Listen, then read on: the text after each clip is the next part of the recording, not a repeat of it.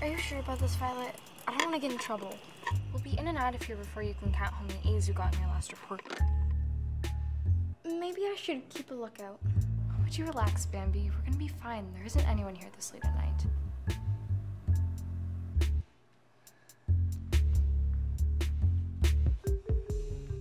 Anyone in here?